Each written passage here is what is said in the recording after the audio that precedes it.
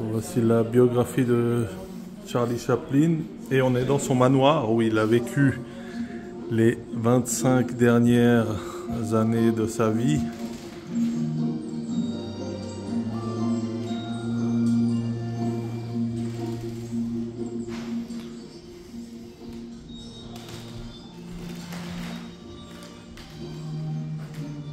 Très belle euh, pièce.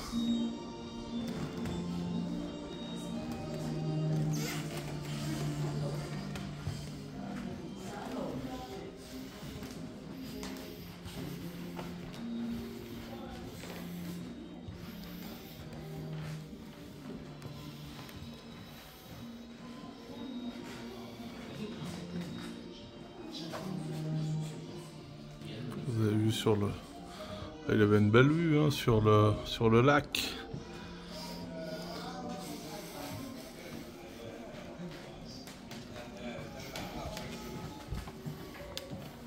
S'astreignant à 6 à 8 heures de travail quotidien, il s'enferme dans son bureau pour écrire le manuscrit qu'il dicte ensuite à sa secrétaire.